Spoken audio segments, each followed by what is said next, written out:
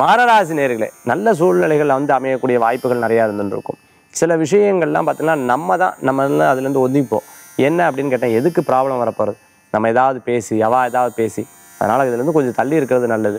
எதா இருந்தாலும் சட்டு சட்டுன்னு பேசுகிறாங்களே எதனால் இந்த காரணமாக இருக்கும் அப்படின்னு கொஞ்சம் ஆழ்ந்து சிந்திச்சு பார்த்தீங்கன்னா அவங்களுக்கு ரொம்ப பிடித்தமான விஷயத்தை நம்ம செய்யாமட்டுறது தான் அவங்களுக்கு ரொம்ப மன கஷ்டங்களாக இருக்கக்கூடிய வாய்ப்புகள். இல்லை அதுக்கு எதிர்வினையாக பேசும்போது அவங்களுக்கு அது மன கஷ்டங்களாக இருந்துகிட்டு இருக்கும் சில நேரம் நமக்கு நம்ம சொல்கிறது ரைட்டாக படும். அவங்களுக்கு அவங்க சொல்கிறது ரைட்டாக படும்.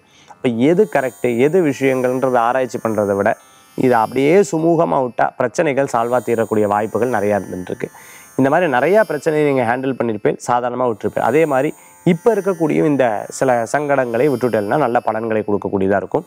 நிறைய முன்னேற்றத்துக்குண்டான வாய்ப்புகள் நிறையா இருந்துருக்கு நீங்கள் எதிர்பார்க்கக்கூடிய காரியம் நிச்சயம் தெய்வ அனுகிரகத்தில் அனுகூல்யமாக நடக்கக்கூடியதாக இருக்கும். திருமண காரியங்கள் கைகூடும்.